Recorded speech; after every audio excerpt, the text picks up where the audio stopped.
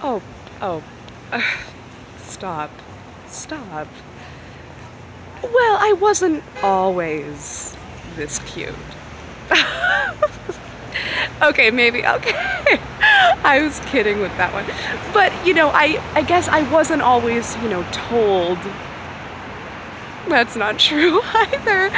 Um, I guess what I'm trying to say is that, you know, just thanks for acknowledging, um, listen, I, you know, I don't, I don't want to sound, um, you know, vain, but, uh, I mean, as far, as far as, you know, what people tell me is that I've always been really cute. So I guess I just, you know, I believe them. I don't know, maybe it's blindly. I, I know I shouldn't do that, but you know, enough people tell you how cute you are, you just sort of start to believe it. So, you know, guilty.